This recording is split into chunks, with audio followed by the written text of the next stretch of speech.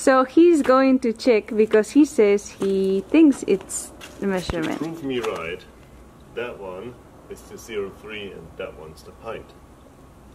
But we don't have a pint glass. That's a pint. Yeah, but then that there is bigger than a pint. Yeah, they were thirsty back then. no.